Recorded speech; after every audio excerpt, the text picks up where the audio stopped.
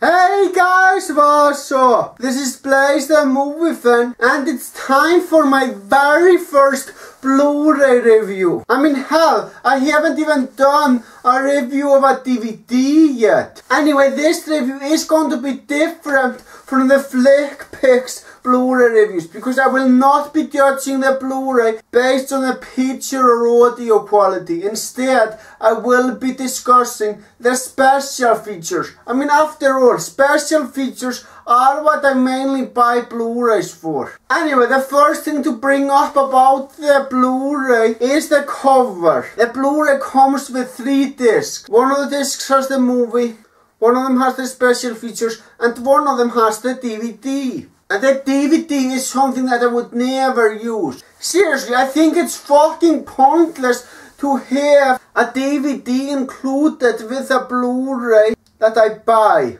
If I wanted the DVD version, I would fucking buy the DVD version. But enough of that. I am going to be talking about the special features, as that is really what I want to be discussing. I would say that this is hands down the best Blu-ray I have ever gotten, ever. Now most Blu-rays have an hour of special features, maybe a bit more than that. But this Blu-ray has almost fucking four hours of special features. And the main special feature is of course the making of the movie. The makers don't just tell me overall the making of the movie, they tell me exactly how the movie was made scene by motherfucking scene. They talk about literally every scene in the movie and how they were made and what the makers of the movie were thinking and stuff like that. Now some of you might say, well isn't that what movie commentaries are for? Well this is even better than movie commentaries because not only do I see Zack Snyder along with the rest of the crew, they also do more than just tell me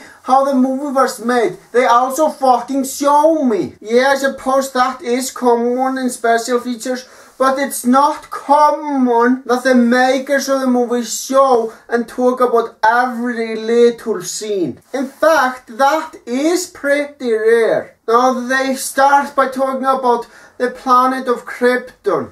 Now some people might have been bothered by the fact that the movie spent half an hour on Krypton. But I honestly think that's one of the most interesting parts about the movie. Because no other media of Superman, not Superman the movie, the animated series or even Smallville, show exactly what happened on Krypton before it was destroyed. And the makers of the movie really went out of their fucking way to make sure that Krypton in this movie was done right. It might have been shown in some of the comics but I am talking about stuff besides the comics. Anyway, the makers of the movie really did a lot of fucking research on Krypton. They really were wondering how it would be like and they even researched the fucking language. And after knowing how much the makers of the movie went through to make that scene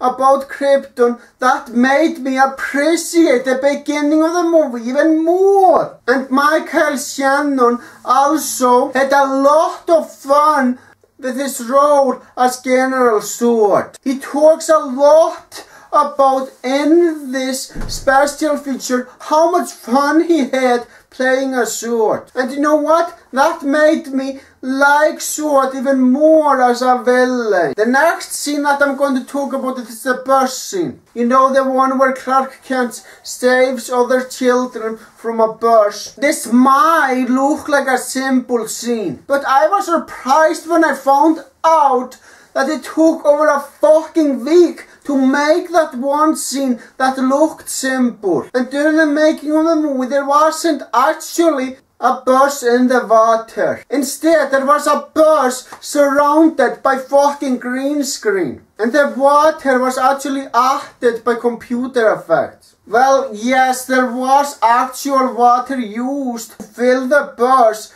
and the people involved in the movie had to know how to swim.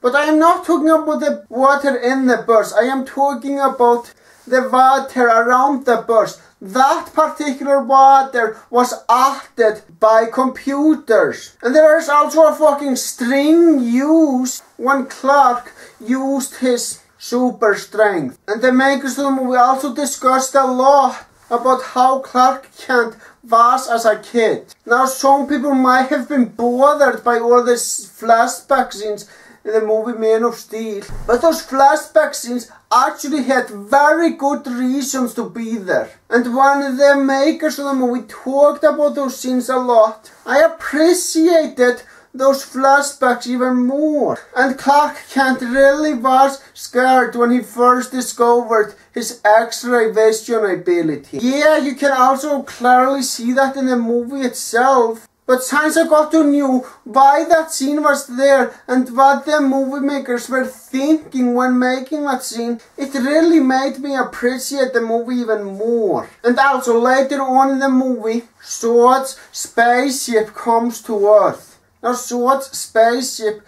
looks fucking awesome and very fantastic. But there really was no spaceship built on the set. Instead, the spaceship was for the most part CGI! Yep, CGI sure is used a lot in mega blockbusters these days. But it doesn't change the fact that the spaceship really did look fucking awesome. And the makers of the movie also explained exactly why Sword wanted to destroy Earth. And even though I understand Sword's reasons for wanting to destroy Earth more. It doesn't change the fact that I think that Sword is a fucking asshole in the movie. And you know what? That's exactly what makes him such a fucking awesome villain. Another thing that I must point out is that green screen is used a fucking lot during the making of this movie. I guess that should be just expected since Man of Steel is a mega blockbuster. But the thing is, I still thought it was very fucking cool